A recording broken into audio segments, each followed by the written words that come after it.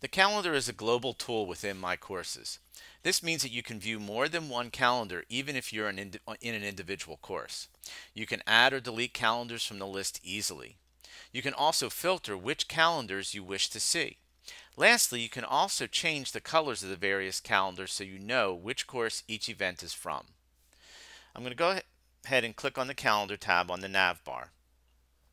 Now across from, and depending on which view you're in, and you may want to watch the tutorial on the view, across from the navigation arrows, you're going to see the name of the course that you've entered.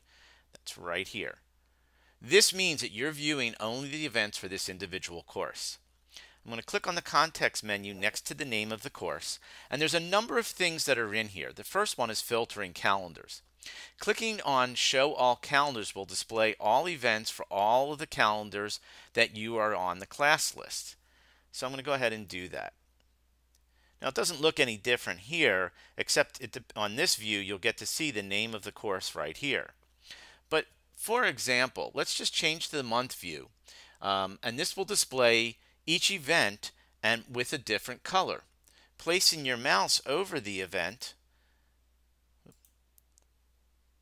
will show you at the end which course this is from. So that one is from my quick guide. This one's from Sandbox. This one is St. Petersburg College. So the different colors help on that. Now I'm going to click on the context menu again and clicking on the name of a specific course will let you filter for that particular course. So now I'm only seeing the calendar even though I'm in my my quick guide course. So again, if I switch between courses, you'll notice that it will take me into that specific course. Now, the last thing that you can do with filtering is let's say it's the end of the semester and you no longer want to see the course that you that you that you've already ended. I can simply click on the X next to the name of that course and then go back and filter it for that one. It will no longer show up in the list. Clicking on the context menu, the next one is about this change color. So if I click on the change calendar colors icon, this will bring up uh, a calendar palette. I can choose a calendar from the drop down, whatever course, I'm going to stay here.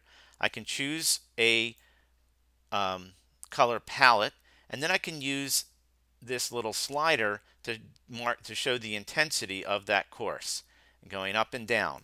When I have that all done, I can click apply and then I can go to the next course and choose a different one there, maybe a different color. And then again, click apply. When I'm all done, click done. And you'll notice the colors will change for those courses. If I go up here and choose all calendars, again, you'll see that the colors have changed. The last thing under the context menu is clicking on the add calendar will allow you to add calendars back to the list that you've deleted off. Um, you should note um, that so what you can do is click the checkbox next to the ones you want but you also will note that you can look at active or courses that are inactive meaning that those courses have are no longer um, available to students. I can search the calendar if I want. Once I choose the ones that I want, I click add and they will now be added back to the list. And again, you'll see it changes to 12 calendars here and they're in the list here.